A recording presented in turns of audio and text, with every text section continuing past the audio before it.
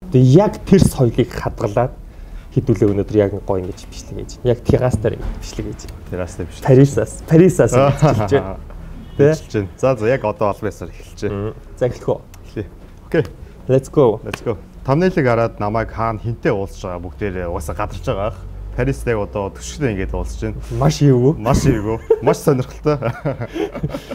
Ийш болонгууд нь Study UK гэдэг газрын ажиллаар бит хоёр болонгууд маа найз бит хоёр ирээ тэгээд Парисаар орох төлөвлөгөөтэй байсан.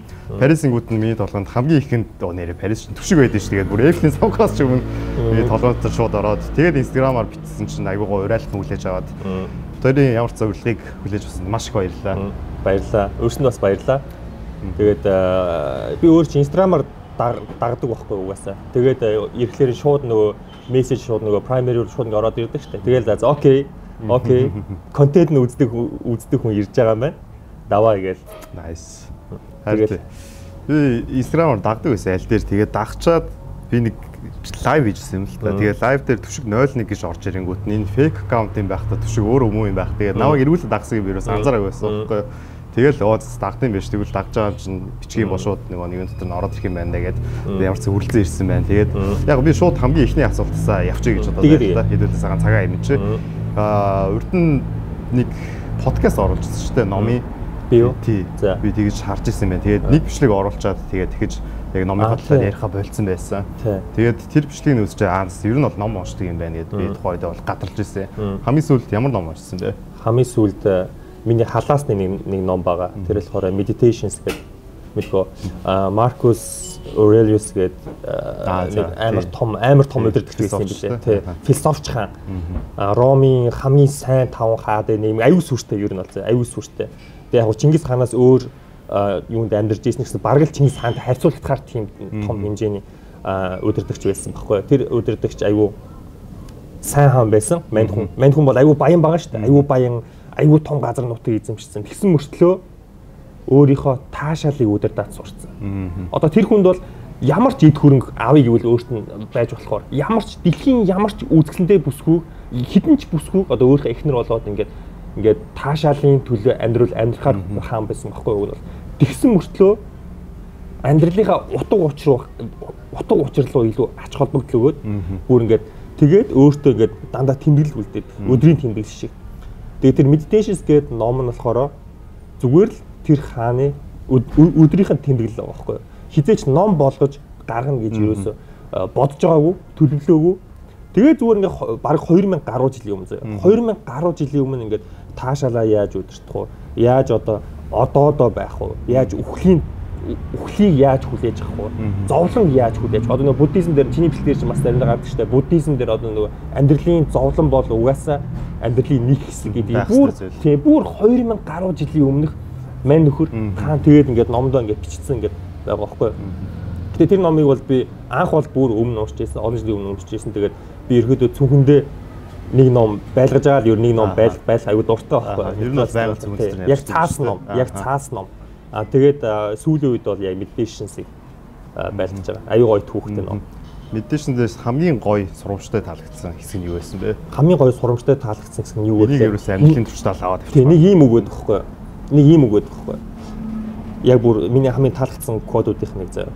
Амьдралын чинь ад жаргал бодлын чинь чанараас хамаарна гэж үг. Амьдралын чинь аз жаргал бодлын чинь чанараас хамаарна. Тийм. Хүний аз жаргал бодлынх нь чанараас хамаарч байгаа байхгүй. Хүмүүс бол ягаад ийм энэ аюу гоё вэ гэхээр хүмүүс одоо ингэ аз жаргалтай амьдрын гоё амьдрын гэхлээр гаднаас ямар нэгэн нөлөө хайгаад байдаг штэ.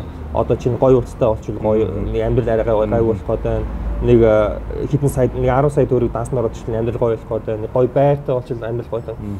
А мань хүн болохоор тэрийг аль хэдийн мэдчихсэн байхгүй.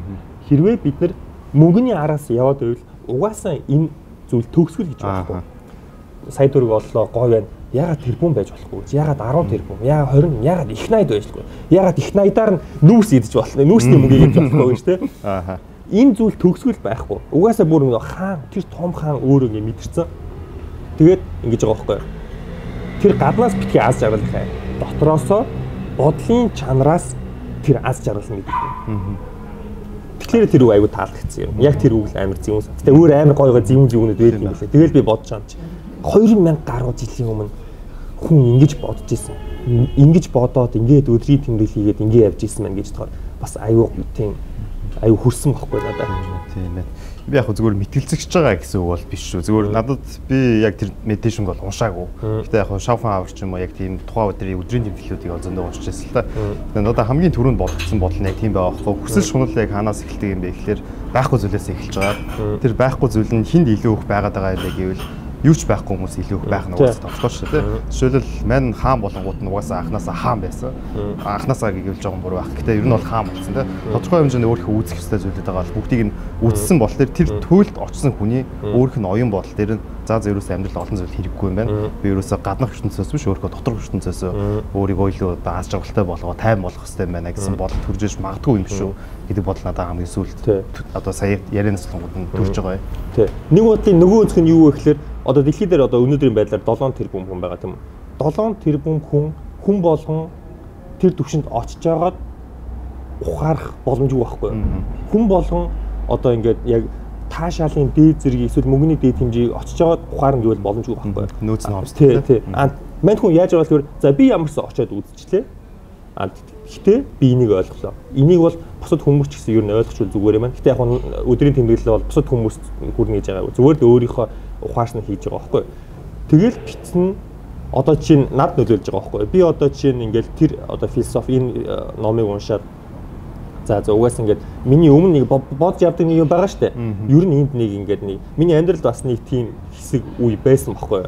Ер нь ингээд э, нэг гаднаас л аз жаргалтай болоо гаднаас л их мөнгө олоод гаднаас л ингээд нөлөөлөд байвал ингээд их гоё болчих юм шиг санагдаад тэгээ яг тэр цэг рүү ойртоод эхлэхээр Ингээ нэг соноо би өөрөө ингээ тайвшраал, нэг соноо ингээ нэг ингээ нэг өөр болохгүй буруу юм руу ингээ татагдаад ч юм уу те ингээ хит таашаал руу ингээ татагдаад улмал ингээл ингээл ингээл исэн байхгүй. Тэгэл тийм эц төгсгөлгүй яваад байгаа байхгүй ямар ч. Тэгэл бодож байгаа байхгүй. За угаасаа энэ эц төгсгөлгүй яваад юм руу яваадах шаардлага байна уу те. Ерхэдөө ингээд ухаарчвал бид нар бүгдээрээ тэрийг заавал заавал яг хөө ингээд материалын араас яв материал авсныхаа дараа яагаад ухаарах хэрэгтэй зүгээр Тэрнээс өмнө ингээд ухаарчвал бас амар юм шиг байна. Нэг тийм бас нэг үнцэг яваад байгаа. Аа. Зүг зүг зүг. Айгуу гоё ном байна. Гэтэ дахиад нэг яг номтой холбоотой асуулт. Хүмүүс нөгөө ширээ ном гэж байдаг шүү дээ. Магадгүй медитейшн бол яг ширээ ном мөн үү? Эсвэл бүр ингээд за заавал энэ номыг уншчих гэдэг ном хүн болгоно гэдэг. Жишээл миний хувьд болонгууд нь ад үзэх зориг бол яг тэр ном байсан байхгүй.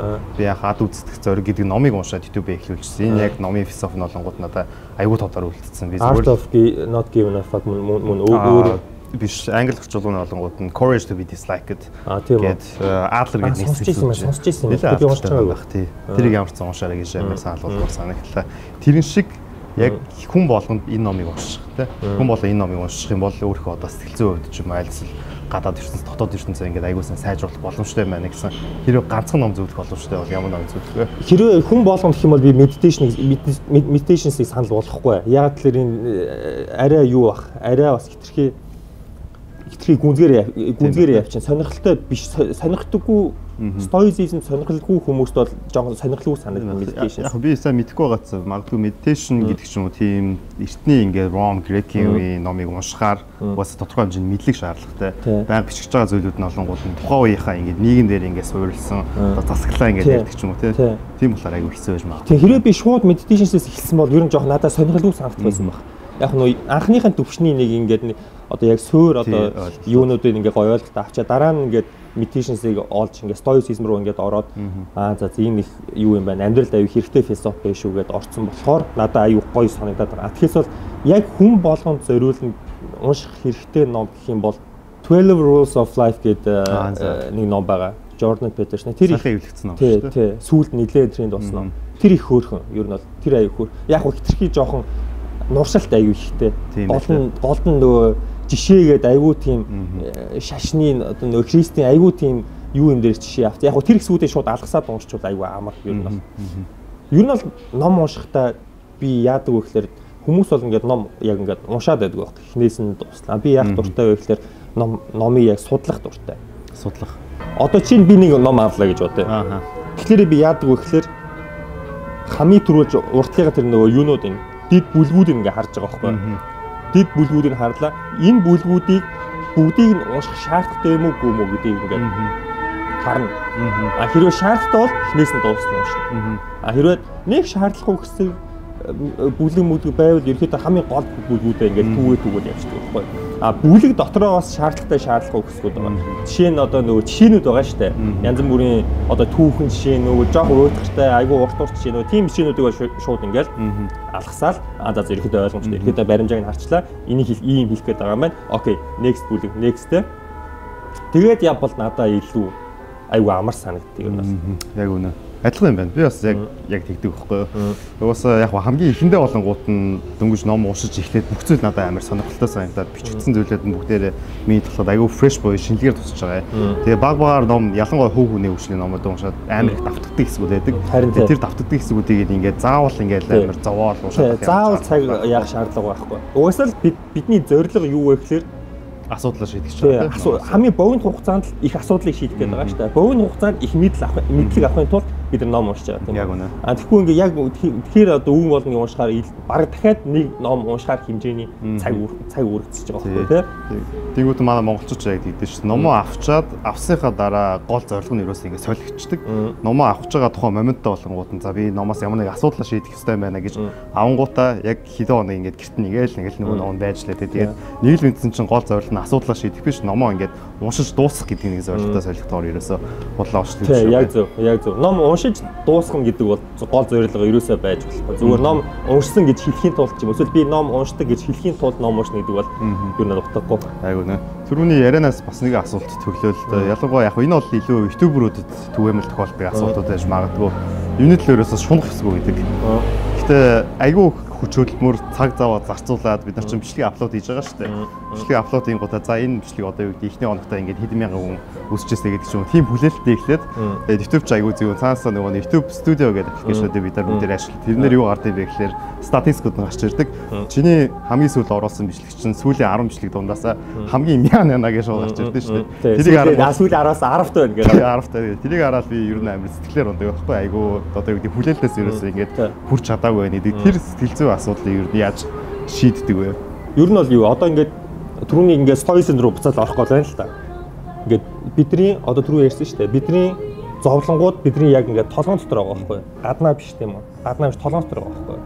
Одоо жишээ нь Монгол ингээд Монголд ингээ одоо төвжихээр ингээд аа төвжирлээ гэж ингээд ингээд ярьдаг штэ. Ингээд машин дотор ингээд нэг төвжирлөө орцсон. Нэг чи Улаанбаатар хотод байгаа. Хоёр л зам байгаа төвжрээ гэдэг асуудал байна. Энэ асуудалд яаж хандах вэ? Хоёр асуудал байгаа тийм үү? Нэг бол төвжрээг засахад ямар нэгэн нөлөө үзүүлнэ. Яад юм мэдхгүй тий шаардлага тавина бла бла бла. Нэг бол энтэйгээ эвдэрч эвдрээд газ ажиллаад төвөрөх хэрэгтэй тийм үү? А нэгд орцсон бол тийшээ ингээд аа юу гэдэг ингээд тий тийм байхгүй. А яагаад энтэй холбоотой байна вэ гэхээр зовлон тэр дотор байгаа даа шүү дээ. Зовлон чи тэр аппликейшн дээр хараад хараад байгаад асуудал байхгүй тий оо юу вэ? Байж та 10-аас 10-т байгаа гэдэг ч юм тий а хэрвээ чи тэрийг харахгүй бол харахгүйгээр гол юудаа анхааруулах юм бол тэр тэр нь илүү чам зовлон багт байна. Тэгэхээр одоод л илүү төвлөрөө. Тий, тий, одоод л төвлөрөөл би бас ер нь яг тийм юу асуудал асуудал ер нь бол байсан. Гэтэ сүүлийн үед би яаж яаж байгаа вэ? Зүгээр харахгүй байхгүй. Харахгүй бол зовлон баг. Яг тийм зовлон чи инстер зовлон чи инстер байгаа. Шалтгааныг нь харах. Тий, гадаа нь байгаа байхгүй. Яг шалтгааныг хараад ингээд ягаад одоо ингээд арай юу судалгааны жураар мэдээж харж болно заримдаа тий. А за ингээд сүүл би ийм дорч үзсэн. Энэ хүн үзэгчэд таалагдж байна уу юу гэх тий. А тэгэхээр бол яг одоо бичлэг оруулчаа. За миний оруулсан өнөөдрийн бичлэг ямар байна? Ямар байна гэж хараадах юм бол ер нь өөртөө л зовлон хураах. Яг комент уншиж байгаадаа хэлдэг. Би ер нь комент бол бараг ер нь бол уншдаггүй. Эхлээд бол уншдаг байсан. Яг унших шаардлагатай л да. Учиргүй хүмүүсийн үйл бол надад хамаагүй би үснэ хийн гэж байгаа бас биш. Гэтэ ер нь бол уншихгүй байх тусмаа сэтгэл зүйн эрүүл мэнд илүү сэтгэл зүйн эрүүл мэнд илүү эрэг нөлөөтэй. Яг тэр энэ хідэн хідэн айгүй олон комент байгаа шүү дээ. Маш олон төрлийн хүмүүс байгаа. Тийм маш олон төрлийн хүмүүс байгаа хүн төрөлхтний түүхэнд хүн төрөлхтөд анх удаа сошиал нэгснээс хойш олон мянган хүний үзэл бодолтой өөрийгөө холбож эхэлж байгаа байхгүй. Тэгэхээр энэ бол натурал зүйл биш. Өнгөрсөн хэдэн сая жилд ийм зүйл байгаагүй. Нэг хүн 700 мянга 600 мянган хүний комменттэй коммент ингэж харна гэдэг бол зүгээр л боломжгүй зүйл. Айгуу нэ. Зүгээр л боломжинд ингээд яг өөрийгөө төсөөлөхөр угаасаа боломж үзэл тийм. Тийм амьдрал дээр 10 найстай байх амархан биш шүү дээ. Ер нь бол 10 найзын үзэл бодолтой ингээд байнга уулзаад тий шүүмжлэн ингээд ингээд 10 найзтай ингээд ингээд яриа ингээд ярилцах амархан биш тийм үү.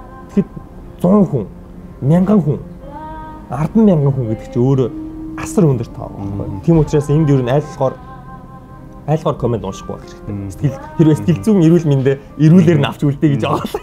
Үнэ үнэ. Энд чинь зөвхөн одоо юу гэдэг олон ингээд subscriberтэй YouTube руу биш ч гэсэн одоо юу гэдэг Facebook-ийг ашиглаж байгаа, Instagram-ыг ашиглаж байгаа. Хамаагүй хүн болгоно. Хүн болгоно. Яг л ямар ч хүн комент орж ирж байгаа. Тийм зүгээр зураг зураг пост комент орж ирнэ, DM ч орж ирнэ. Ганц хоёр комент, ганц хоёр захиа, ганц хоёр DM тэр болгонд яаж хандах уу гэдгээсэл яаж яаж хүлээж авах гэдэг нь л инстер байгаа байхгүй. Яг зүйл болонгууд нь гаднах ертөнцөөс биш доторх ертөнцөөс байгаа. Яг зөв. шүү дээ. Хүн дотроо орчин үеийн зовлон бараг 95% нь хүн дотроо зовлон үүсгэж байгаа байхгүй. Өөрөө аваач нөгөө аппликейшны юуг нь хараад за 10-аас 10 яаж би бас анх тэгдгээс комент уншаад хүн болгонд тааруулах гал аппликейшнээ хараад за энэ яач вэ? 10-аас 10 яач би өгн хичээж бичлэг хийсэн гэсэн ягаад 10-аас 10 сүүлийн 10-аас 10-д ороод тэ Яг тэгдэхтэй тэгээд хүн чи өөрөөс ингээ асуудал хайгаад байгаа байхгүй. Ясүм дээр чамд асуудал бичиж болно шүү дээ. Жишээ нь чи хувь хөгжлийн хувь хүний хөгжлийн чиглэлээр бичлэг хийж байгаа тийм үү? Хувь хүний хөгжлийн чиглэл угаасаа өндөр хандлт авдаггүй. Ялангуяа Монголд угаасаа тийм амар өндөр хандлт авдаггүй. А entertainment бол ари өндөр аваад тий 200 300 400 ингээд ингээд явдаг шүү дээ. А хувь хүний хөгжлийн ихлээр яг ингээд 10 мянган үзэгч үзсэн ч гэсэн тэр бол миний хувьд айгүй Монголын хувьд маш өндөр тоо байхгүй. Тэгэхэд чиний бичлэгэн дээр бол 100 мянга бичлэг хандлт авсан юу байгаа. Зүгээр нэг философи, будын философи, философи бичлэг гэж би үзсэн. Тэр бичлэгээр жишээ авахад тэр чинь аюу хүн үзсэн байгаа байхгүй. Тэр Монголд бол тэр бол маш өндөр амжилт байгаа байхгүй. Хүн хүний хөгжлийн чиглэлд бол чиний чиний юу бол контентэд бол аюу өндөр баярлалаа авч байгаа. Аюу өндөр хандлт авсан. Хэрвээ би хувь хүний хөгжлийн чиглэлээр хэрвээ ингээд бичлэг хийдэг байсан бол яг одоо их шиг угаасаа тэгж хандлт авч чадахгүй байх гэсэн юм бол. Тэгэхээр чиний юу ч юм бол айгүй хүмүүст хэрэгтэй яг ингээ хөгжих гэсэн үзэгчнэр байгаа учраас бас илүү даваа тийм байх та. Thank you. Окей, дараагийн асуулт болонгууд түрүүний Улаанбаатарын төвжирэл хийх дээр бас нэг зүйл бодогдлоо. Жишээ болонгууд нь Парис ирээд 6 7 жил, ер нь Франц ирээд 6 7 жил болж байгаа гэсэн шүү дээ. Тэгээд би бит хоёр болонгууд нь өнөөдөр ингээд өчигдөр өдрөл Парис дээр ирсэн баггүй. Тэгээд Парис дээрээ бүтэн хоног ингээд энэ хотыг ингээд тойроод үзэнгүүд нь яг хуу айгүй жижиг хэсгийг ерхэд энэ хотын гур амьсгалыг нь залуучууд яаж ингээд өөрсдөө бие авч яваад одоо жишээл зүгээр түрүүний хоёлаа ингээд яг кофе ууж эхлээд ингээд ярьж байгаад энэ ч өөр ингээд Парисын маяг байгаад байгаа шүү дээ. Өнөөдөр Монгол за ер нь Монгол гэдэг болж амар том байх. Улаанбаатарт яг Парисаас энэ соёл нь ингээд нэвтэрчих юм бол манай ер нь Улаанбаатарын залуучууд ингээд илүү гой гой гэдэг нь болонгууд нь зүгээр доторх нөгөө нь аз жаргал гэдэг талаас амьдралын сэтгэл ханамж гэдэг талаас илүү гой болох юм байна да гэдэг нэг тийм хүн чинь ер нь юм төрдөн шүү дээ гадаад ингээд очингууд нь тэрнээс нэг хуваалцсан. Хүндлэл.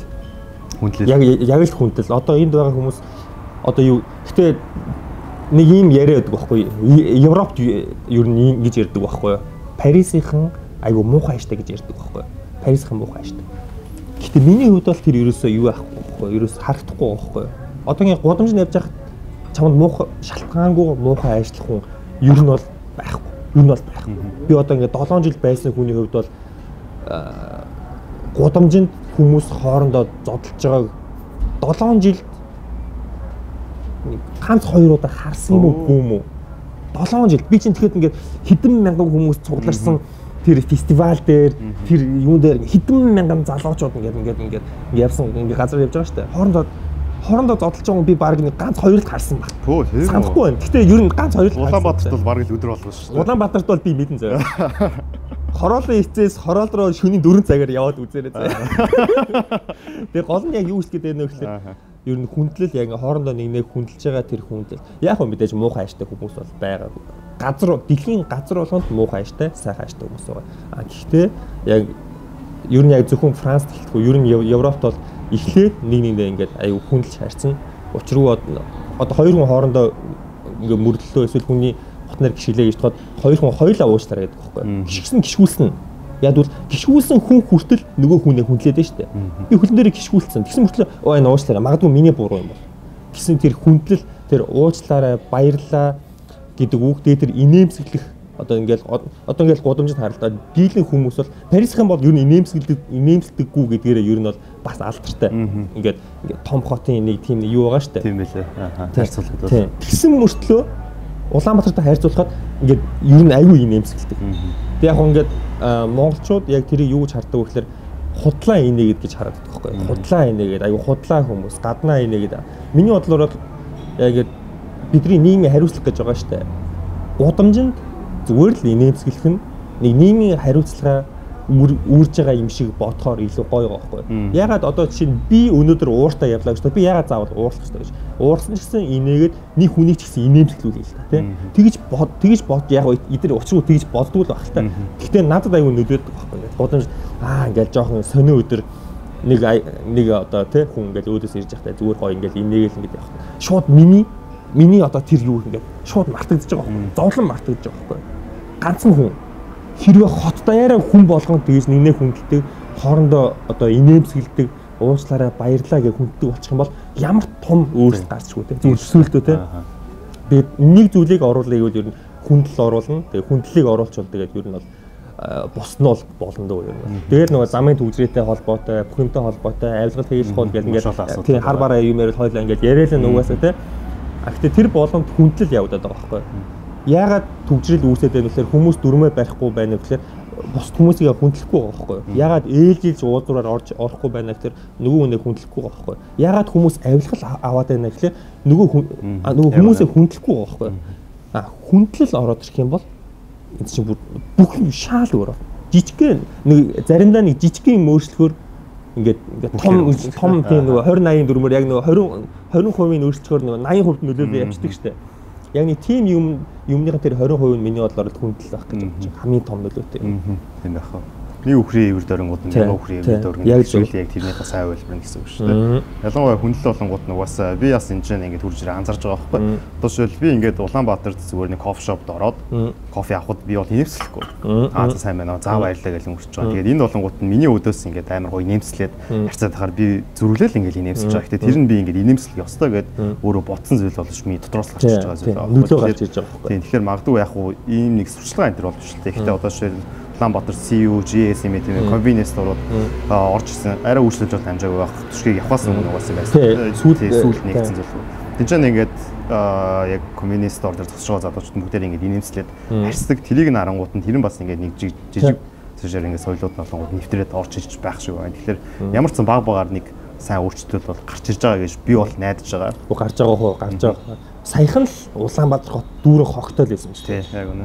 Тэгэл тэгэхэд өнөөдөр бол ингээ хотын төв мөгөр бол ингээд би бас ингээ бичлэг бичлэг хараад ингээ ингээ анзаарч байгаа. Тэгэхэд бол ингээд аюу цэвэрхэн байгаад байгаа байхгүй юу? Саяхан л бид нар чинь ингээл хогоо яах уу гэсэн Улаанбаатар хогоо яах. Тэгэхэд тэгэхэд нэг юм ингээ шийдэгдсэн байгаа байхгүй юу? Тэ? Хөөхөн бага багаар бага багаар ингээ яваад байгаа байхгүй юу? Магадгүй энэ бичлэг энэ бичлэгийг хүмүүс хараад залуучууд илүү инээмсэглдэг, нинээ хүндэлдэг болоод улам ингээ нинээ ингээ хүндэлдэг болох юм бол ингээл бага багаараа ингээ асуудал шийдэж гинэ л гэсэн үг тэ? Яг үнэ. Урд нь бас нэг тийм нэг ном уншиж ирсэн. Яг цогч нь бол марч. Гэтэ мань хүн болохоор статистикч хүн байсан. Дэлхийн ингээд факт үлнэс гэдэг ном дээр гар тий. Дэлхийн ингээд айгүй олон улсаар ингээд статистик нараад явгууд хүн болол амар их бүхэмддэг. Өөрийнхөө нийгэмдээ нийгэм одоо хамаг ингээд улс төр мус төр юу байдیں۔ тий. Тэр нь бол зөв зүйл. Шүүмжлэх нь бол зөв зүйл. Угаас шүүмжлэхгүй бол энэ зүйл өөрөө явахгүй чинь одоо капитализмын арчилсан улсын хамгийн гол тулгуур нь болж байгаа зүйл. Гэтэ бид нар юу ингээд буруу бодоод байт юм бэ гэхэлэр ингээд ерөөсөө сайжрахгүй нэ гэж бодоод байдаг. Гэтэ ерөөхдөө муу юу гэвэл муу. Гэтэ баг багаар сайжирч байгаа гэдэг философи. Тэр сайжрахын тулд иргэн хүн өөрөө хариуцлагаараа юу хийх гэдэг нь айгүй чухал юм шиг байна. Тэгээд энтэй холбоотойгоор дахиад нэг асуултыг би заавал өндөр түвштэй уулзахаараа асуу гэж. Нэр нь юу юм бэ гэхээр айгүй олон улс төрийн бичлэг оруулдаг. Одоо нүрсний улгаа тэгээд сүүл болонгууд мөгшингийн бас бичлэг оруулсан байсан. Тэрийг харсан ягаад ийм бичлэг ер нь хийхээр болсон бэ гэдэг нь нэгдэг асуулт. Тэгээд үргэлжлүүлээд шууд хоёр дахь асуулт болонгууд нь юу нь бас яг одоо чагсаалын талаар өөр хүсэл бодлоо илэрхийлжсэн л да. Тэгэхэд надад хамгийн ихэнд юу төрсэн бэ гэвэл надад маш том айдас төрсэн. Би энэ бичлэгийг хийгээд тэгээд магадгүй нэг одоо юу гэдэг нүүрсний хулгай хийсэн одоо альцлын улс төрийн нэг жоохон том гар надлуу нэг хар машин явуулаад тэгээд би алуу болчих тайхан нэг бол надад төрчихсөн байхгүй. Тэгээд би Улаанбаатарт амьдардаг болохоор тэр бол биш. Парис зэнийг яг үндэ хийвэл хийх боломжтой шүү. Тэр их нь бол зөндөө байгаа. Нилээ эрсдэлтэй зүйл. Ягаад ингэж өөрийнхөө одоо айн насаа тэ эрсдэлээ оруулан байж улс төрийн тэмцэл арчсан тэмцэл хийх юм бэ? Ер нь бол юу юм бэ лээ? Би бас нэг зүйлийг ойлгосон байхгүй юу? Ингээд хүн яг утга учир руу илүү зүтгэхээр дагаад айц хүний яг айх айц нь багасчт юм шиг байгаа. Одоо ингээд түүний одоо хойлонгийн нөгөө ярьсан тэр нөгөө ном дээр бас ингээд айцын талаар авих гарна л та айц майцын талаар одоо үхлээс үхлээс одоо хүн хүн айх ёсгүй амьдрж эхлэхгүй байхасаа хүн айх ёстой гэсэн тийм тохиол байдаг байхгүй. Тэгэхээр ингээд хүн амьдраад эхэлчих юм бол улам айдас ингээд багсан тийм үү. Яг тэр утгаараа яг яагаад тийм битгиймгүй бичлэг хийгээд гисэн бэ гэхээр яг ингээд за за одоо ингээд окей. За хөргөн хаалтад авж гин хүмүүс үзэж гин залуучд үзэж гин сайн мэдээ тийм үү. А гэхдээ би энийг яаж одоо юу гэдэг яаж утга учиртайгаар хариуцлагатайгаар авч явах вэ нэг асуулт болж байгаа байхгүй. Хэрэг би амиа одод зүгээр л зүгээр л entertainment зүгээр л одоо юу гэдэг те хошин шогоо хийгээд ивэл хийн штэ те. Тэгэхэд одоо хажуугаар нь за ядаж таван бичлэг оруулаа. Нэг нь нэгээс хоёр нь одоогийн өнөөдрийн нийгэмдэр болж байгаа тэр болохгүй зүйлээ ямарсан яри. Монгол руу одоо буцааж явах орон тийм үү. Энд ингээл юу гэдэг ингээл яг гадаад болж байгаа юм ингээ яриад явбал явна штэ. А тэр утгаараа ерөөдөө жоохон яагаад гэвэл ухамсарлсан. Аа за одоо нэг арай нэг утга учраа хийх гэж нас ч хөөрхөн явлаа тий одоо ингээ хүүхэд байхаа одоо одоо жишээ нь юу гэдэг тий ингээд арай нэг тийм нэг идэр одоо яг нэг тийм нэг буцаад одоо ингээд буцаад нэг ингээд өөрийнхөө ирсэн нийгэм рүүгээ буцаж чиглэсэн жоохон юм хийх гэсэн утгаараа ингээд буцаад юу өгөх тий орж байгаа байхгүй яг тэгж бол ерөнхийдөө яагаад гэдэг асуултанд бол тэгж орсон. А яагаад одоо жишээ нь айцын тал дээр гэх юм бол ер нь бол надад ямар ч айдас юу нь бол ерөөс мэддэгдээгүй. А хамгийн ихний тэр орсон эхлэл хэсэгт бол юу нь айдас мэдэрсэн байж магадгүй. А хүрс хэмжлэгтэр хэлж гинөө. Тийм тийм яг яг тэр сонгуулийн үеэр нэг бичлэг хийсэн шүү дээ. А тэр үед бол заа заа заа ер нь ингээд хүмүүсийн яриад байдаг ер нь тийм нэг айх шаардлага байна уу надаа энэ тэр жоохон тийм наацтай бодол орж шүү дээ наацаа цаантай. А тэгээд тэр тэрнээс хойш ерөөдөө ингээд юу гэж утсан бэ гэхээр хэрвээ би айгаад байвал залуучууд угаасаа айцтай л амьдрдаг болохгүй. Хэрвээ би яах тийм үстэй. Тэгэхээр угаасаа утга учиртай зүйлийн араас явж байгаа юм чинь би өөрөө айхан бас утгагүй байхгүй юу? Би хүмүүсийг манахаа тэнцээрэ гэж хэлчихэд би өөрөө энэ ингээд ингээд айгаад байвал ингээд камер унтсны дараа айгаад байвал онцгүй байхгүй юу? Тийм учраас ер нь ингээд нэг ойлгосон зүйл юу вэ гэхээр ер нь бол угаасаа амьдрал угаасаа л тэр чигтээ зовлон бас тэмцэл Угаасаа л тэмцэл. Угаасаа л дэлхийн түүх ингээд өнгөрсний хэдүүлээ ингээд харах юм бол ингээд тэр чигтээ арт түмэн болгон ус үндэстэн болгон ингээд тэмцээр л ирсэн байхгүй юу. Одоо жишээ нь тэ нөгөө хар арстангуудын тэмцэл яаж яаж явсан? Дайн тэмцэл одоо ингээ яаж явж байна арчлын тэмцэл тий арчлын тэмцэл үгээ хэлэх хэрэгчлөө сонгуул гэл энэ төр. Яг тэр утгаараа Монгол яг Монголын залуучууд өнөөдөр бас Монголын нэг юм түүхэн үеийг ерөөдөө ингээд түүхэн үеийн гэрч болох гээд байгаа байхгүй юу? Яг эрхчлөө арчсан арчсан нийгэм гэдгийг утгаар нь оруулж ирэхэд ингээд ингээд явж ойлгож эхэлж байгаа. Дөнгөж ойлгож эхэлж байгаа байхгүй. Хүүшээ одоо ингээд нөгөө сошиалын ячаар хүүшээ бусад улс орнууд чинь тийм юм байна. Одоо чи ингээд хоёр ирээд ингээд ингээд харлаа гэж байгаа шүү дээ. Залуучууд нь ингээд эрхчлөөтэй байна. Хүүшээ залуучууд чинь ингээд бусад улс орныхан чинь ингээд ийм ийм байна. Яагаад Монголд ийм байж болохгүй гэж. Одоо нэг бяцхан тийм сэргэлт явагдаад байгаа байхгүй. Тэгээ тэр сэргэлтэн дээр ирэхэд айж болохгүй гэдгийг бас урайлмаар байна. Давхар бас. Тэгээ тийм л байна да. Nice. Nice. Зүг амьдрах биш бишээ. Зүгээр амьдрах биш зүг амьдрах хэрэгтэй гэдэг би нэг үгийг бас уншиж ирсэн. Нэг философч хэлжсэн. Яг л тэрнтэй адилхан. Тэр бүгдээрээ хувь хуваа ингээд хичээгээд те. Зүгээр л за өнөөдөртөө би ингээд өөрөө халаасаа мөнгө олоод явж байна гэж бодох юм бол одоо бид нар амар тэнцвэртэй хэлтгэл ингээл танай хүүхдийн үеих чинь ингээд наад одоо ачаагч үүрэх болно гэдэг хүүхдийн үеч биш ер нь бол энэ чинь баг сарын дараах дэсэл дараа жилийн дараах асуудал байдаг болохоор энэ чинь хүн болгон нийгэмдээ тодорхой хэмжээгээр өөрөөсөө юм буцааж өгөх хэрэгтэй. Тэр буцааж өгөх зүйл нь ус төр гэсэн үг бол биш. Тэр нь олонгууд нь нийгэм буюу нийтийн эрх ашигын төлөө хүн болго өөрийн гэсэн хувь нэр оруулах нь аюул чухал юм санагдаад байна. Тийм хариуцлага гэж юм байгаа байхгүй тийм. Тэгээд энэтэй холбоотойгоор яг яг хариуцлага гэдэг талаар асуумаар санагдсан. Түрүүн бол хүндлэл гэдэг сэдвийг бол дурдлаа. Хариуцлага гэж юу юм бэ? Spider-Man, Spider-Man үзчихсэн үү? Үзсэн үзсэн. Яа. Нөгөө тий Spider-Man-ийн аав гах нь насваргын Spider-Man нэг үг хэлдэг баг. Peter Parker нэг үг хэлдэг байхгүй. Хүний хүч нэмэх нэмэх тусмаа хариуцлага бас давхар нэмэгдэх ёстой. Хүний нөлөө үүсэх тусмаа хариуцлага давхар нэмэгдэх ёстой. Нөлөөгөө бол зөвхөн өөртөө ингээл хүн нас нууртаа ашиглаад яваад иж болохгүй. Тэгээ тийм учраас хариуцлага бол хүмүүс ингээд хүчтэй байна, их мөнгөтэй байна. Одоо юу гэдэг те одоо нэг тийм баймаар ингээд ингэж ярьдаг штэ. Тэгсэн мэтлээ хариуцлага аяа бага ярьдаг нөгөө тийм миний зүгээр уриалт тадагаа хүсдэг зүйл юу вэ гэхээр зүгээр өөр дөрөө яг ингэж шаах ба тий. Окей. Түшигээр нэг залуу хөрхөө нэг хитэн контент хийгээд нэг хөрхөө ингээд ингээд хандлт аваад залуучуудын хөрхөө нэг юм нэг одоо үлгэрч маягийн хүн болчтой штэ тий. Нэг юм.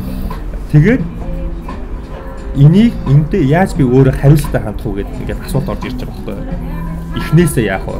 Хараад л өг. За наазах ядаж хараад өг гэхгүй. Тэ жижиг юмнаас эхэлж байгаа байхгүй. Наазахын за нэг юу гэдэг Coca-Cola сурчлахгүй бай. Наазахын арх сурчлахгүй бай. Окей. Тэ наазахын нэг арай нэг нийгэм рүү хандсан юм хий. Яг яг ийм энэ утгаараа хариуцлага яг ингээд миний хувьд бол илүү бодогдож эхэлж байгаа байхгүй. А тэгэхээр бол анх хүн болгоны тодорхой хэмжээний тийм хариуцлага байгаа шүү дээ. Одоо чинь зүгээр л одоо юу гэдэг гэр бүлийн хүн дүүтэй хүмүүс гэдэг ч юм уу те эсвэл эцэг эхийнхээ ачийг хариулж байгаа тийм хариуцлага зүгээр нэг жиж тийм бүр жижиг юмнаас ингээл хариуцлага ингээл эхэлдэг л ах тийм учраас хариуцлагагүй амьдрна гэдэг бол ер нь утгагүй энэ хариуцлагагүй байна гэхээр нийгэмд бол тийм ялангуяа ялангуяа бид чинь ингээд нийгэмд байгаа хүмүүс бол хариуцлагагүй зүв амьдрах нь баг боломжгүй боломжгүй байхгүй ер нь чи өнөөдөр ингээл энд ингээл одоо чинь энэ ингээл нарийн цэнгэлээ гэж бодоход бусад хүмүүсийн одоо тэр ашиг. Тийм эрх ашиг дээр чиний хариуцлага ингээд ингээд ингээд байгаа байхгүй чи ингээд нүцгэн ингээд ингээд алхаж болохгүй яа тэгэхээр чамд нэг хариуцлага иргэн хүний хариуцлага тий. Бусад хүмүүс чи хараад оо яана энд нэг юм нэг шалтан нүцгэн хүн яваад ингээд ингээд нэг тий ингээд ингээд яаж яг тэр утгаараа чи бас хариуцлага мэдчихэж байгаа байхгүй автоматар хүн болгон хариуцлага мэдчих эхэлж байгаа байхгүй юм байна тийм учраас ер нь хариуцлага бол маш чухал. Нэгт хүндлэл хоёрт хариуцлага. Яг гой дараалалаараа явж байна. Тийм ээ хариуцлагатай холбоотойгоор холбоотойгоор ч тийм нэг ийм нэг юм уус яг түрүүнийхээ яг ингээд нэг өгүүлбэр дээр үйлчлэх юм бол Стивен Кови гэдэг нэг цогч байдаг. Манд хүн юу гэж бичсэн бэ гэхээр хариуцлага гэдэг бол өөрийнхөө хийж чадах нөлөөллийнхөө тойргийнхоо хэдэн үед нь ингээд хүртэж байгаа юм бэ гэдэг зүйлийг хэлт юм аа. Жишээлбэл яг түрүүний ярьсан чигээр те би ингээд амар баян болцсон. Тэгсэн мөртлөөсөө би хүмүүст ямар ч хандив өгөхгүй. Хандив гэдэг бол шаардлагатай болж байна бол хариуцлага бол яг үндэ биш. Тэгээ ёстой биш. Ёстой бол биш. Гэтэ эн чинь зүгээр хүүхний өөрх нь ухамсар байгаа даа байхгүй. Жишээл одоо би нэг компани захирал болсон. Би ингээд ганцаар ингээд амар баяжсан. Тэгээ одоо жишээлбэл жижиг дунд үйлрүүлж ихэнх тийм шүү дээ. Тэгээд би манай компани ашиг мөр ингээд хідэн тэрбум болсон мөртлөөсөө би ашиж байгаа салиг нэмэхгүй байвал энэ ёстой бол биш. Гэтэ энэ бол зөвхөн хариуцлах хүнийг үйлдэл гэж уншиж ирсэн байх. Тэгэхээр яа санаачлал гараалахгүй тий. Юу нэг хариуцлага гэдэг чинь яг тийм ёстой биш. Одоо чинь тий хандив дээр ханд өгөх ёстой биш. А гэхдээ санаачлаар хүн ханд өгж байвал тэр бол одоо юу гэсэн ухамсарлаж байгаа. Тийм яг үнэ. Гол нь бид нар авахтаа биш өгөхөөсөө кайф сурч чадах нь амар чухал юм шиг байна. Тэгэхгүй ихэнх нөгөө нэг хүмүүсийн сэтгэлэн дээр болонгууд нь одоо жишээлбэл би өнөөдөр түшигтэй бол за түшгээс юу авах вэ гэж хүмүүс болонгууд нь боддог. Гэтэ яг үндэ авах гэдэг чинь болонгууд нь цаашаа ямар ч өөжийг бол үүсэхгүй. Хүнд анх юм өөрийнхөө цэвэр сэтгэлээсээ өгч ш Энээсээ бол хүн илүү одоо хүмүүждэг гэж бас нэг өмнө Eric Fromm гэдэг хүн хэлжсэн. Бид нар ч ялангуяа хайр дээр болонгууд нь хүн болгоо ингээл одоо юу гэдэг те одоо жишээлбэл би ингээд нэг охин хайртай болцсон. Тэгээ би за нөгөө охноос юу авах вэ гэж бодож байгаа байхгүй. Их хүмүүсээ би ямар секс авах уу те ингээд ямар таашаалах уу гэж боддог болохос хэрвээ тийм бодолтой байх юм бол энэ бол ерөөсөө хайр болно ш хүндэл болно ш хариуцлага ш би орондоо нийгэмдээ юу өгч чадах уу би найз хүндээ юу өгч чадах уу би гэр бүлдээ юу өгч чадах уу гэдэг нь бол хүний өөрийнх нь ухамсар хүмүүжил. Тэр энэ бүгдийг ингээд нийлүүлээд ингээд хэлэх юм бол том хүн болж байгаа жишээл гэж байгаа юм. Миний анзаарсаар байна. Яг зөв. Яг зөв. Тэгээд бас авахын тулд эхлээд ингээд өгөөд эхэлчихээр буцаад ингээд угаасаа хүсэн хүсээг авч байгаа байхгүй. Тэр хоёлаа хусан ярилцсанд ингээд ярьлаа шүү дээ. Одоо ингээд нэг одоо эмгтэн үнгээ сайн боллоо. Тэгэл ингээд одоо тэр эмгтэн одоо гоо сайхнаас ингээд одоо ингээд юу гэдэг те ингээд ингээд авахгүй одоо ингээд харилцаа авахгүй л ингээд ингээд явж а зүгээр ягаад тэгэхээр өгж болохгүй гэж. Ягаад зүгээр шалтгаангүй зүгээр өгж болохгүй. Ягаад зүгээр л юу гэдгийг соёлтой байж болохгүй шүү дээ. Ягаад зүгээр л одоо юу гэдэг гоё юу гэдэг гоё хоол цай идэлтэй. Ягаад зүгээр зүгээр л гоё ингээд юм өгж болохгүй гэж. А тэгэхээр дараа нь хүсэн хүсээг угаасаа ингээд аваад хэлчих. Бүх юм яг тийм байгаа байхгүй. Одоо ингээд YouTube эхэлж байгаа залуучууд дээр л ингээд жишээ авахад одоо чиний хөв хүний одоо хөгжлийн сэтгв чинь өөрөө өөх өөхөх эхлээд өөх тал дээрээ ингээд яа тийм үү. За би өгийн манайхаа за би ингээд төдөн ном уншсан энэ их гоё хэсэг биш үү манайхаа энэ номыг энэ номны талаар ингэж хийгээд өөд отсон үсчид буцаад ингээд чамд өгье гэсэн тийм одоо тийм нэг юу одоо ингээд буцаа гарч ирж байгаа. Одоо чинь спонсор гэдэг юм тийм спонсорууд хүртэл ганц хоёроо ингэж орж ирээд ганц хоёроо ингээд хандлт орж ирээд үсчид өөртөө ингэж лайк дараад алуу алуу бүрийн гоё лайк дарыг гоё петишн шеэр энэ гоё байсан маань гэж комент бичээл. Яг тэр чинь чиний өгснээ бас нэг юм бяцхан хариу ингээ яваад байгаа байхгүй. А тэгээс мэдээж шууд чи эхлээд авъя гэсэн юутэй бол хийгүүл байх л та. Тэрийг угаасаа ерөөс хэдэж гордож болохгүй юм шиг байна. Яг зөв, яг зөв. Урд нь бас нэг Ken Honda гэдэг нэг Японд хөвгөнтэй ярьж байгаа болон мань хөр бол тэгжсэн. Өөрөө одоо бол бичээж болоо тэгээд одоо өөрөх нь нийтлэгдсэн бүх ном нь ингээд бестселлер болдог. Японд угаасаа маш олон хүн тий. Тийм болохоор номын ингээд одоо сайн бестселлер зохиож болж байгаа. Ер нь бол тэгээд их бүнд уншдаг гэсэн. Мань хүн анх яаж ирсэн бэ гэдээ надад ярьсан түүх нь болонгууд нь өөрөө ингээд жижигхэн ингээд цаасан дээр ингээд нэг өөрийнхөө бичвэрүүдээ бичээд ингээд хүмүүс тараадаг байсан. Энэ нэг уншаадаг ууч гэдэг. Тэгээд нэг уншсан хүн наа чи ямар гоё юм бэ? Би найз нэг надад ч авч идэх үү? Ингүүд нэгэл ингээл үнгүүгээр өөрөө ингээд хэвлүүлээд аваад өгдөг байсан. Тэгснээ мэдсэн чинь нөгөөх нь өөрх нь ингээд амьдртыг дүүрэгт нь амар алдартай болоо мань хүн өөрөө зүгээр үнгүүгээр л ингээд хүмүүс өөрхөө бичвэрээ тараадаг байсан. Тэгэл баг багаар нөгөөтхийн ном болгоо идэх санал орж ирээ. Тэгэл ном болгоо ном бичсэн чинь нөгөөтх нь ингээд хүмүүс нь яг өөрхөн мөнгөөрөө боддоор ингээд худалдаж аваад тэгэл цасан бөмбөлийг ингээд өнгөрч өнгөрч байгаа юм шиг. Өгсөөр байгаа төгсөөр байгаа төгсөөр байгаа гэсэн өөрөө авсан гэхдээ авахтаа болонгууд нь анханасаа тэр хүн хизэж ашиг онжоо альцд одоо юу гэдэг харилцан тохиролцоо гэдэг зүйлийг бол анханасаа харж байгаа юм шиг байна. Тэгэхээр бид нар нийтээрээ яг ингээд одоо гэдэг түрүүний ярьсан хүндлэл гэдэг чинь болонгууд нь цэвэр өгөх тухай сэдв шүү дээ. Би ингээд өгж байгаа. Гэтэ би тэр үнэс ямар ч юм бол нэхгүй байгаа тийм. Тэгэхээр энэ л юу айгуу тийм дутагдж байгаа. Гэтэ яг баг баг сайжрах гэж бол найдаж байна. Яг л мөнгөтэй ижлэх юм байгаа байхгүй юу? Одоо бид нар ингээд мөнгөний талаар бодоол мөнгө авъя мөнгө авах юмсан мөнгө олох юмсан ингээд яваад тахлаар ингээд нэг сонио одоо чинь яг одоо за хоёр хоёр хүн дээр чи явъя за. Нэг нь болохоор ингээд за яаж мөнгө олох вэ ингээд мөнгө бодсон за. За яаж мөнгө олох вэ гэдэг а нөгөөт нь болохоор мөнгийг нэгдүгээр тавихгүйгээр яаж хүмүүст үнцийг өгөх үү гэж бодсон. Хоёулаа ингээд шаргуу ажиллаа гэж бодъё. Хүмүүст мөнгө хүмүүст үнцэн өгөхөө нэг тавьж байгаа хүн бол мөнгө угаас автоматар орж ирж байгаа байхгүй яг ингээд хоёул YouTube дээр ингээд ойрын жишээ авах юм уу эхлээд ингээд өгөөл ингээд юу дараа нэг спонсор ярьсан шүү дээ. Тэгэл ингээд орж ирэл мөнгө бол зүгээр нэг нэг бонус маягийн болчих жоох байхгүй яг ингээд бонус маягийн болчих жоох байхгүй ингээд байгууллагууд өөрсдөө мэйлчээд ингээд тгий одоо ий чи таалагдж чинь тэг чин таалагдж чинь ингээд тэгэл дараа нь би хүртэл бодож байгаа хүү чи дайжгүй юм биш. Ингээд яах юм бол те ингээд эхлээд мэдээгүй мөртлөө эхлээд би мөнгөний төлөө хийгээгүй. Мөнгөний төлөө би YouTube сувг ажиллуулаагүй. Тэгсэн мөртлөө дараа нь ингээд мөнгөний боломжууд гарч ирэхээр хүүший нэрээд ингээд нөгөө бодож исэн юм улам баталгаажж байгаа байхгүй. Мөнгө гэдэг чинь бонус юм биш те. Них мөнгийг заавал нэгт утга учраа тавиад явснаас зүгээр ингээд дуртай утга учиртай юм хийгээд бусад хүмүүст үнцэн өгөхлөөр тэр нөгөө автоматар ингээд дагалдаж ирж ингээд ингээд ингээд дагалж ирж байгаа байхгүй. Зүгээр бонус байгаа байхгүй. Тэ? Тэгэхээр бас аюул сонио. Тэгэхээр сэтгэл зүйн хөвцөө айгүй амар болчихж байгаа шүү дээ. Тэгэхгүй ингээд мөний төлөө хийх хэрэгтэй байна гэд бичлгүүдийг хийгээд байх юм бол нэгт тэр чи өөрөө угаасаа хол яхгүй болчихно. Хүмүүс угаасаа тэртээ тэргүй айгүй амархан анзаараад эхэлдэг. Одоо жишээл юу гэдэг комент дээр ингээд орж ирэл за бүрий чи ингээд баян ингээд мөний тухай ингээд юм яриад шүүгээд бас орж ирэхэд зүгөөсгүй хүн болон угаасаа амар сайн мэдж байгаа бид нарыг. Одоо бодож байгаа бас маань илүү. Тэгээд яг гоо тэгэхээр нэг асуулт маш энгийн нэг асуулт байгаа Төрөн болгоод нь ойлаа амар хүндлэл гэдэг сэдвээр ярьлаа. Дараа нь хариуцлага гэдэг сэдвээр ярьлаа. Энтэй холбоотой надад хамгийн түрүүнд бодогдсон одоо гурван одоо хүний за амар сүртэй хэлэхэд том одоо юу гэдэг хүний бүрдүүлэх орцынх нь гуравдах нь олонгууд нь гайхалтай зан характер. Гайхалтай зан характер гэдэг айгүй ерхий тодорхойлолтой байх. Гэтэ гайхалтай зан характер ингүүт нь ямар зан характер хамгийн их төсөөлөгдөж байна. Энэ хүний зан характер уу? Гайхалтай зан характерыг бүрдүүлэхийн тулд аа хүн өөрөө яаж хичээх боломжтой вэ? Гайхалтай зан характер яг арай нэг жоохон тодорхой болох юм бол бид нар одоо жишээлбэл компанид ажиллаад хүмүүсийн зан характерыг шууд мэдчихэж байгаа шүү дээ. Магадгүй харизм ч юм уу тийм. Тэгэхээр одоо жишээл надаа ингээ хоёр захирлаа гэж. Тийм нэг захирал нь нэг жоохон ингээд одоо хариуцлагагүй мариуцлагагүй юм тийм айлсл нэг жоохон арх марх уу тэг мэдгүй одоо зүгээр шал өөр хамаагүй шиг явж байгаа шүү. Тэгээд нөгөө захирал нь болонгууд нь бид нар ингээ баян хүндэлдэг, баян асуудал юм ингээ сонсдог. Тэгээд бусдыг ингээ манлайлдаг, өөрийгөө ингээ дагуулдаг.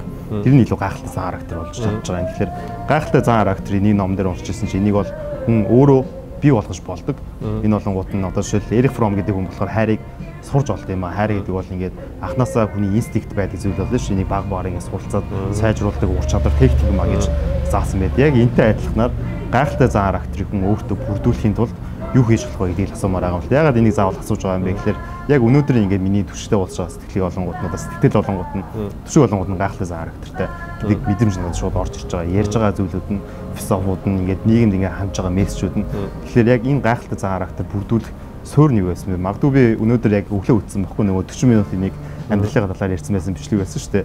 Тэрнээр ингээд 7 хоног болно ингээд өөр өөр ингээд апартмент руу ингээд нүгэд явж ирсэн ингээд аюу зовж ирсэн болохоор магадгүй өнөөдөр ингээд илүү ингээд дотоор дотроос ингээд аз жаргалыг хайх хэрэгтэй байна гэдэг ч юм уу. Яг зөв. Тэгэхээр ер нь бол яг энэ бүхнийг бүрдүүлэх яг суур яг суурн гэвэл сахилах бат. Ер нь бол аюул чухал. Яг одоо жишээ нь ингээд сахилах бат чинь яагаад хүн сахилах баттай болж байгаа вэ гэхээр яг тэр чинь угаасаа ингээд юу бах одоо зарим хүмүүс ч одоо ингээд мотивац авахаараа л юм хийдэг шүү дээ. Мотивац авахаараа эсвэл нэг хиймээр санагдахаараа л хийдэг те. Тим хүмүүсийн тим хүмүүс бол яаж ч утсан сахилах баттай хүмүүст ялгдах байхгүй юу. Бүх юмараа илүү арай дутуу байхгүй.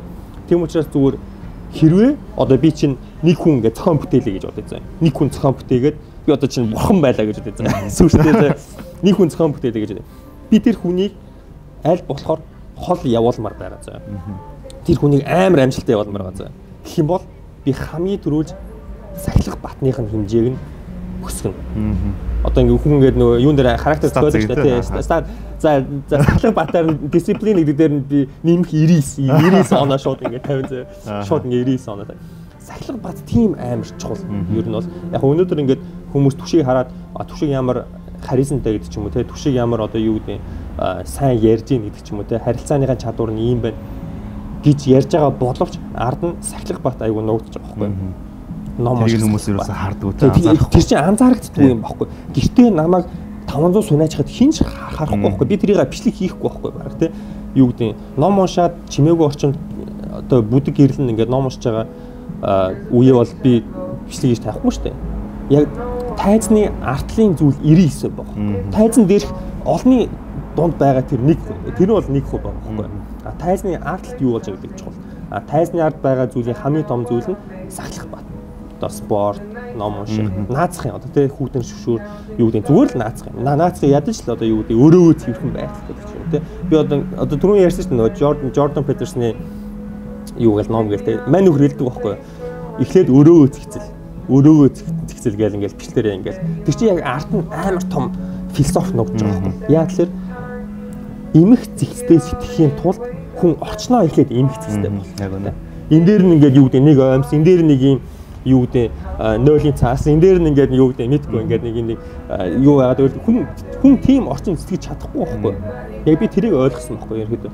Аа зөв хүн эхлээд өөрийнхөө орчингоо эхлээд цэвэрхэн байх хэрэгтэй юм. Ямар ч л байсан. Ямар ч л байсан тоос чороо энэ тэр байж болох тийм үү. Хоёрт нь эмх зэгцтэй байх хэрэгтэй. Аа тэгжиж миний сэтгхүү өөрөө дагаад эмгэгчтэй болох юм. Энэ дээр хүртэл тодорхой хэмжээний сахилга бат явж байгаа байхгүй юу? Өрөөнийхөө тоосыг соруулна гэдэг чинь тодорхой хэмжээний сахилга бат байхгүй юу? Тэ? Өрөөнийхөө одоо ингээд тоосоо яад ингээд юмаа хувцаа их үж 50 гэдэг чинь сахилга бат байхгүй юу? Тэгэхээс бол яг өрөө гой харттай голно биш зүгээр л өөртөө сахилга бат нэмэхтэй байгаа байхгүй юу? Яг үнэ. Яг энэ дээр хамгийн их надад бодогдсон зүйл нь Монгол зүйр зэсүүнүүд ямар ахуй юм бэ гэж шууд бодогдлоо. Бид нар бүгдийг мэддэг те. Биэцсад, гэрэцсад, төрөөс гэдэг шиг тэрэн шиг тихгүүгээр ингээд шууд бид нар болонгууд амар том зөвлөлөө ингээд мөрөөдлөө би ингээд тэрбумтан болно гэдэг шүү. Ингээд 5 5 өрөө байруудаа өөр юу гэдэг гэж боддог болохоос яг ингээд тухайн хүний гэрт нь ороод арангууд нь өөрөө ингээд гутлаа ерөөсөө үрж тавиагүй. Тэгэл оронгууд нь гэр нь ингээд замраагүй. Магадгүй ингээд одоо компьютерлын оронгууд нь наацхын зүйл нь ингээд десктоп нь ингээд амар замраагүй. Десктоп нь өөрөө юу те Тийм байх. Интернет нь орохоо интернет нь гацаад вирус болохгүй болох болохгүй сайд руу ороод зүгээр ээ. Яг үү. Тийм байд ивч байгаа. Тэгэхээр энэ бол айгүй чухал мессеж баг. Бид нар хитрхи ингээд томоорон бодоод байдаг болохоос ингээд ерөөс өөрийнхөө детал дээр ингээд анзаардаг. Гэхдээ детал makes perfect. Яг зөв. Яг зөв. Ер нь бол детал айгүй чухал. Ер нь бол яг ингээд яриаг ингээд ярьсан юмнуудыг хүүрнээд хийх юм бол ер нь детал гэдэг зүйл бол амар чухал болж таарч байгаа. Зүгээр инээмсэглэх гэж яриад байгаа боловч инээмсэглэх гэдэг чи өөрөө жижигхэн зүйл мөртлөө амар том байгаа байхгүй. Зүгээр л уушлаараа гэж хэлэх өөрөө аюу том юм байгаа байхгүй. Ингээ зүгээр л зүгээр л өглөө босоод өрөөгөө өрөөнийхөө тоосоо соруулна гэж аюу том юм байгаа байхгүй. Зүгээр жижигхэн юм шиг мөртлөө амьдралд аюу том нөлөөд байгаа байхгүй. Зүгээр л өрөөндөө цэвэрхэн сууна гэдэг чинь жижигхэн юм шиг хоёул аюу жижигхэн юм яриад байгаа юм шиг санагдаж магадгүй үзэж байгаа зарим хүмүүс ээ нэг хоёр нөхөр суучаад ном яриад нэг худлаа цэцэргээд нэг өрөөгөө цэвэрлэх шиг хинд юу заагаад байгаа гэж бодож магадгүй. А тэр бол яг ясэм дээр асар том юм байгаа байхгүй. Асар том юм байгаа байхгүй. Ер нь бол үнэ. Яг л тийм бодол орж ирж байлаа ер нь. Яг энтэй холбоотойгоор бас нэг энэ юм уншиж ирсэн юм аа. Бид нар нөгөө амьдралыг харахаараа ингээд амар урт удаан ингээд хугацаагаар нь хараад тэгтээ магадгүй нэг жилийн дараа за ядаж нэг үйлдэлийн дараа жилийн дараа айлс 10 жилийн дараа би ингээд 5 жилийн дараа одоо докторийн цол хамгаална энэ төр гэж боддог ч юм. Гэтэ амьдрал болонгууд нь яг үндэ өглөөс ирээд тэгээд унтаал тэгээд амьдрал бол ингээд дуусч байгаа. Зүгээр л өглөөс ирээд унтахын ингээд 360 давуу нэг үргэлжлүүлж байгаа зүйл нь болонгууд нь амьдрал дээр өглөөс ирээд дороо иж тэ өглөө эртс ирээд 6 7 гээс ирээд тэгээд усанд ороод кофегаа уугаад өглөөний цайгаа уугаад ажил руугаа яваад гэдэг энэ бүрчлэн нэг бүрчлэн одоо жижигхэн зүйлүүдийг ингээд хориглуулсан хэлбэр нь амьдрал болохоос ингээд 5 жилийн дараа юм болно гэж бодох юм бол угаасаа бүтггүй юм шиг байгаа. Тэгээд ерөнхийд нь бол энэ ярилцлагын цаг маань ер нь өндөрлөх тал руугаа хандчих шиг байна. Хамгийн сүүлийн асуулт нь болонгууд нь манай Shapers гэдэг нэг нийгэмлээс гаргадаг Biba бодол гэдэг картны тоглоом байдаг. Тэгээд энэ дээр сэтгэл зүйн асуултууд байдаг юм л та. Тэгээд тэр сэтгэл зүйн асуултаас надад хамгийн таалагддаг нэг асуулт нь болонгууд нь сүүлийн 6 сар амьдрал чамд юу заав гэдэг асуулт байгаа. Энд хариулах юм бол сүүлийн 6 сар гэсэн үү те? Буцаад хариуцлага руу хариуцлага руу орох гэдэг нь ер нь бол одоо ингээд ерөөдөө би одоо ингээд сая 30 хүрсэн тийм үү? Яг 30 хүрчээ ингээд бодож байгаа байхгүй юу? За ингээд ямарсан төшиг хүү 30 хүрлээ Тэгээд ингээд энэ хүртэл одоо ингээ 20 эдээсээ 30 хүртлээ би ингээ өөрөө ингээ дүүлт хийж байгаа дээ.